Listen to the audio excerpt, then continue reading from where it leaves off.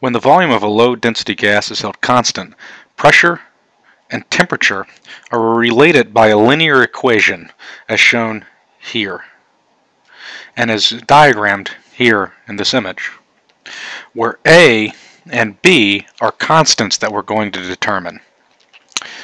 So for any given constant volume gas thermometer, where if first we write down what we know, such as pressure equals 7.00 atmospheres. That's at a temperature of 100 degrees Celsius.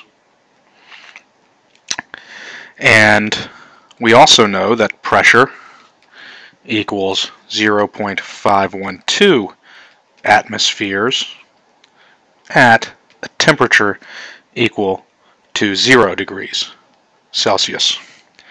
And from this information, we can figure out the slope of our line and the intersection of our line such that uh, we can come up with an equation for determining any temperature.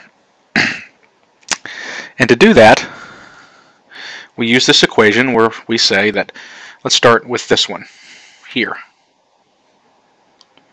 We plug this into our equation so that we have 0.7 atmospheres is equal to A times the temperature of 100 degrees Celsius plus B.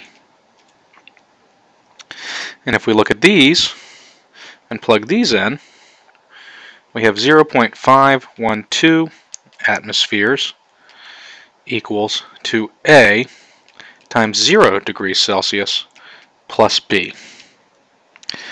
So what this tells me is that B is equal to 0.512 atmospheres. So therefore I can take that and plug that in up here so that I have 0.7 atmospheres equals A times 100 degrees Celsius plus 0.512 atmospheres. I can use this equation and solve for A. So A equals 0.700 atmospheres minus 0.512 atmospheres divided by 100 degrees Celsius. And that gives me a value so that I have a linear equation for the thermometer like so. P equals 1.88 times 10 to the minus 3 atmospheres per degree Celsius times temperature plus 0.512 atmospheres. This gives me an equation for the pressure as a function of the temperature. So for any given pressure, I can find the temperature that my thermometer will read.